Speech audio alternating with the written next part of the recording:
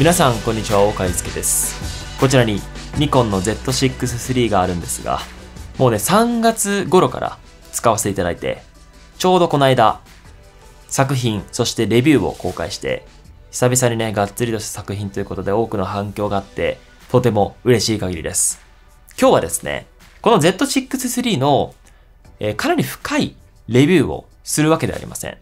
あの比較的カジュアルに僕の感想を述べるというような動画にしたいなと思っております。なぜかっていうと、やっぱり Z6 III は僕の中でも本当の意味で新しいカメラだし、これは一番ね、ニコンって動画のイメージがないと思うんですよ。ただ、もうすでに自然と手に持ってしまってると。この間も北海道行ってきました。その時に撮影したのもこの Z6-3 なんですね。だから僕ね、長らくいろんなカメラ使ってきましたけれども、動画クリエイター視点でもう手に馴染んでるんですよね。なので、まあそういったお話もそうだし、とはいえ、完璧な製品ってないので、あの、実際に使ってみて分かったネガティブな側面っていうのもしっかりと皆さんにお伝えしたいなと思っているので、今日は撮影をしております。はい。で、このね、カメラって、まあ、動画クリエイター向け、いわゆるプロフェッショナルなユーザー向けの製品でもあると思うんですけれども、えー、ちょっと告知があります。皆さん、えー VGT ってご存知ですか？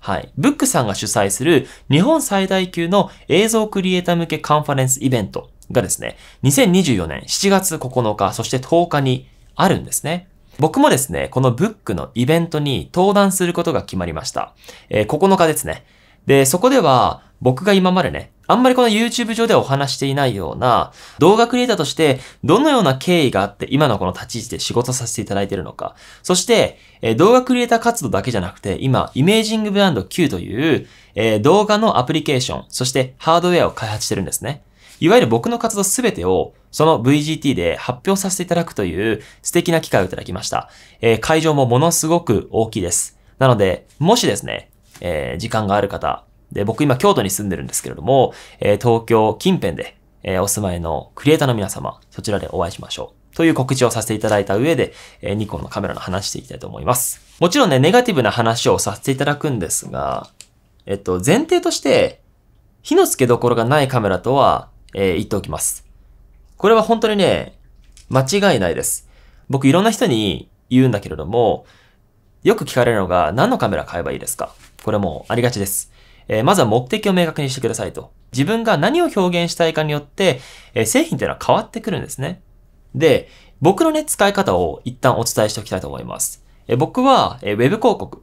えーいわゆるウェブのコマーシャル系の動画に発信しないようなね、SNS に発信しないようなガチの制作をやっています。これは自分の中で最もパフォーマンスを発揮しなければいけない、えー仕事になります。で、次に YouTube 上で、えーニコンさんのね、プロモーション映像とかレビューとかをさせていただく YouTube 制作。そして、えーそこに派生した、えー Instagram とかの写真動画コンテンツの制作。で、あとはもっともっと思い出に近い Vlog。思い出を動画で残すという制作。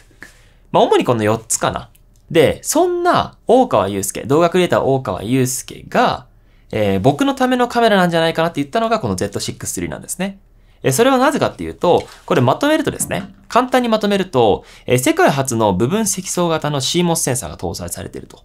で、いわゆるセンサーも大幅に改善されてるんですね。で、読み出し速度が上がることで何が実現されたかっていうと、6K の、えー内部ロ収録。60p、スローモーションも取れちゃいます。あとは、えー最大8段の手ブレ補正。いわゆるこの新しい、えーセンサー、エンジンによって、ここまでスペックがあると。ニコンって僕の中ではやっぱりプロフェッショナルな写真機としてのイメージがものすごくあって、それこそキャノンとニコンがずっとこのライバル関係にあったっていうのは、まあ、カメラの歴史としてはね、すごく有名な話だと思うんですが、まあその中で、まあソニーもね、ミラーレスカメラで来て、キャノンさんも出してるけれども、やっぱりニコンさんって動画機としての、なんだろう、クオリティが全然低かったという印象は正直にあります。で、もちろんレッドを買収したというね、ストーリー、思い出ももちろんあるんだけれども、え今回ようやくこのレイヤー、動画機としてのレイヤーに食い込んできたというところが、で、かつこの完成度だっていうのが僕の中では驚きで、僕が本来がっつりと制作をするときっていうのは、ローを使いたいんですよ。で、これって気づいてない方多いと思うんですけど、ロー収録って言っちゃえば圧縮しないから、あの、多分、ありとあらゆるカメラの中で最も上位に位置する映像美を追求できるんですよね。これが直結するのは僕はカラーグレーディングの耐久性だと思ってます。ダイナミックレンジもそうです。明るいところと、え、暗いところの差分。あとは、え、そういった際どいところを調整した時の、えー、絵の耐久性みたいなものが、 RAW は圧倒的にあります。はい。なので、本当に、これ僕が言うから、あの、信じてほしいんだけれども、 RAW 表現をすると圧倒的にクオリティが上がります。というのは前提としてお伝えした上で、そういった内部ロー収録ができつつも、写真のクオリティも圧倒的に高いっていうのが Z6-3 の、えー、本当に良いところ。でもこれはもう、あの前回のレビューでも伝えた通りなんで、もうまさにそのまま、あの、認識してくださいと。で、ネガティブな部分ですね。あの、完璧な製品なんだけど、あえて、実際にもう数ヶ月使って感じた悪い部分をちゃんとお伝えしておこうかなと思ってます。あの、もちろんね、改善されていくとは思うんですけれども、まず内部 RAW 収録できますよね。で、その RAW 収録の素材を編集するときに、まあ動画クリエイターの皆さんだったら使ったことのある Adobe Premiere Pro。Adobe 製品対応してないんですよね。僕は DaVinci でね、カラーグレーディングとかするから、正直、いいやと思ってるんだけど、やっぱり DaVinci と Adobe で僕は運用してるから、たまに Adobe Premiere Pro でカッティングとか編集したいんだよね。で、そういう時に、えっと、ニコンの RAW が使えないっていうのは、ちょっと RAW の柔軟性に欠けるなというところは、えー、率直にあります。はい。なので Adobe ユーザーでニコンの RAW ってのは必要ないというユーザーが増えてしまうということなので、あの、これはニコンさんにね、ぜひ、あの、Adobe でも対応していただけたらなと思っております。あとはですね、低照度。になります。えー、今回12,800とかで富士山のね、あの夕焼けのシーンを撮ったんだけれども、あれカラーグレーディングをしていて、一部ノイズリダクションも追加してるんですよね。で、12,800まで上げてしまうと、もうノイズがすごいですと。 RAW 収録をしていて、絵の耐久性があったとしても、やっぱりこの、結構ノイジーに、美しくないノイジーが、あのー、かかってしまうというか、だここはやっぱりこの低照度、低照度の撮影っていうのは弱いと。で、レンズもね、これ F1.8 とかで優秀なレンズで、あの明るいレンズで撮ってはいたんだけれども、そういう印象を受けたので、えー、まあこれね、ソニーのあのミラーレスカメラとかって低照度強かったりする製品あるじゃないですか。で、やっぱりその、夜間でも美しく撮りたいよっていう目的があると、やっぱソニーのああいう製品を選ぶんだけれども、この Z6-3 ってのは夜間はそんなに強くない。あの他の製品と比べてね。っていうのは、え、ネガティブポイントとしてはしっかりとお伝えしておきます。はい。以上です。はい。他ないっす。これ今ネガティブなところをパッと言って、ごめんなさい。またポジティブなものに戻っちゃうんだけれども、この間北海道で使ってやっぱいいなと思ったのは、ジンバルが必要ない。手ブレ補正が優秀すぎて。で、ローで収録しなくても、この間ね、渡辺和正さんのスタジオツアー行って、あれって30分40分くらい撮るから、さすがにロー撮れないんですよ。取れないっていうのはメモリがオーバーしちゃう。600ギガとかいっちゃうからね。だから、普通にこの10ビットで撮影してたんだけど、あの、そういった撮影でも、手ブレ補正が優秀だったので、ジンバルいらなかったし、あとは、リッチポートレートという、もう内蔵のフィルターをつけました、今回。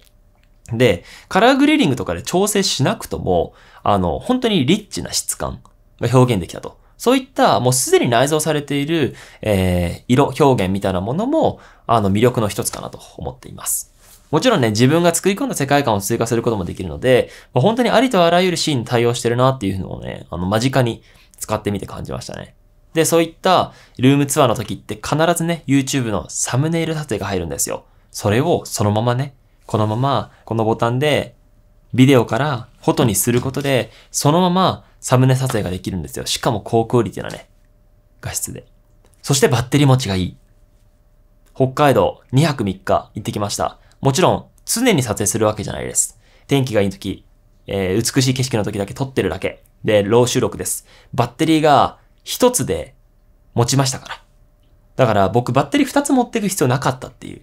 そのぐらいバッテリー持ちの優秀さやばい。こんな盛りだくさんで撮れて、バッテリー持ちがいいって今まで出会ったことがないです。だから本当にニコンのこの Z6-3 のあの底力を僕は感じたので、まあしかもバリアングルね。これモニターも可動式だし。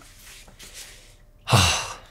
マジでネガティブがさっき言った2つぐらいなんだよね。マジでそれ以外ないです。はい。